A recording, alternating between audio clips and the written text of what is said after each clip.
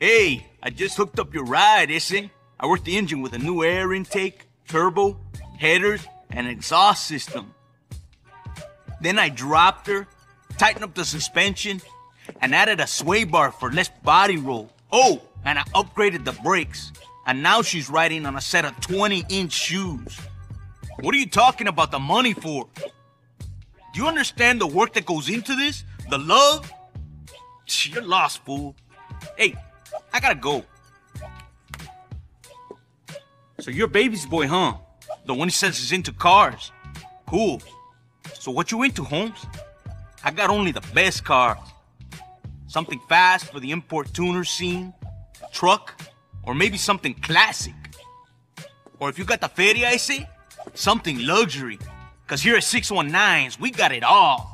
All aftermarket stuff, bodywork, and under the hood. Make it fast and make it beautiful. Hey, but I ain't no salesman. So go look through the cars, pick out what you want, and don't try to get funny with the price, cause this ain't the ghetto. So, uh, baby says you like to drive with some speed, eh? Well, I can hook you up. It's all about car club down here, Holmes. Whatever you buy, there'll be somebody that will want to race it. That's the vibe down here. Beautiful cars and fast driving. Insanity, ese. So, uh, give me a call or I'll give you a call. Hook you up with some car clubs, Holmes. Oh, fregón, huh? You beat a girl? Well done, ese. Those tuner kids think you can drive okay. They invited you to take part in the unbeatable Street Racers private club competition. All you gotta do is turn up in a tuner and keep impressing the kids. I know, I know, why bother? But apart from all the feria you're gonna be lifting off these fools, those vatos got some firme skills. Maybe they can teach you something. Anyway, do what you like. I'm just giving you some advice. You, ese. Listen, I know you like to hang out with the kids. Some vatos like to keep things exclusive. I just had the luxury rollers in here telling me they was looking for new members. I thought about you. Might be out of your league, I don't know. Expensive stuff, but it looks good. And like all cars, there's a way to drive them. The weight to these cars can give you an advantage if you learn how to use it. If you're interested, I can hook you up.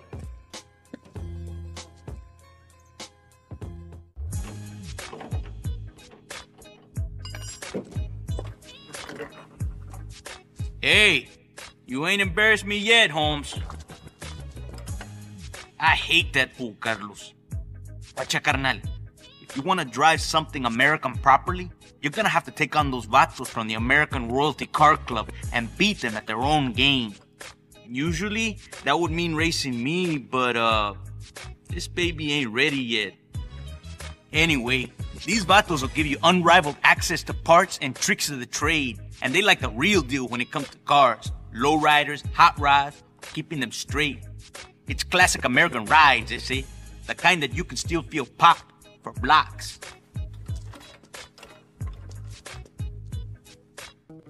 Yeah, yeah, no problem. I'll tell him. Oh, he just walked in. Órale, ahí te guacho. That was my homeboy Phil. A damn maniac, pero loco. He heard you popping off. Wants to teach you a lesson. You drive whatever you want. He's gonna beat you on a chopper. Don't ask me, don't blame me. But he's good at racing, even though he is local.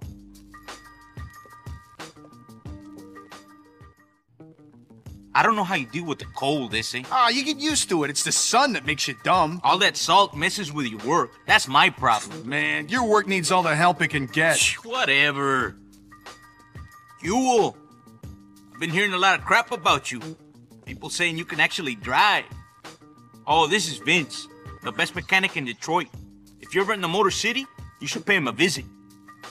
Hey, this is Baby's boy. Ah, right. I know you got good taste in cars, eh? So there's this dub event down in Atlanta, beautiful cars. But more interesting than that, there's gonna be some serious competition. You should go down there, show them what you got. Thought it might be something fun for you. And here, I got a buddy, Apone. If something happens to your ride or you need a hookup, he'll take care of you. I mean, he ain't no Oscar. He's better than Vince here. Yeah, who you trying to kid? Yeah, I know I'm number one. Yeah, you're number one. Hey, later, Issy. Para você que ficou até o final do vídeo, vai aí umas curiosidades sobre o Oscar, o dono da primeira garagem de San Diego, né?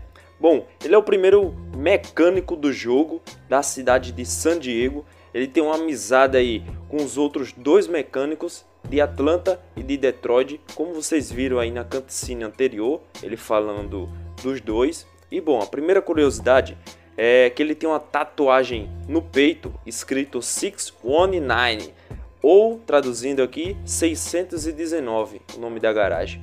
Mano, se ele faz uma tatuagem assim no peito é porque ele deve amar muito o seu trabalho, deve amar muito fazer tunagem de carros, fazer coisas com carro para fazer uma tatuagem disso daí do nome da garagem dele, né?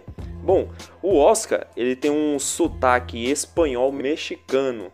Isso mesmo, mano um sotaque espanhol mexicano. Lá na, tipo como a gente tem aqui no Brasil, tem o Nordeste, tem o Sul, tem o, o é, São Paulo, Rio de Janeiro, cada um tem o seu sotaque, né? Carioca, paulista. E o espanhol é a mesma coisa, tem o sotaque mexicano.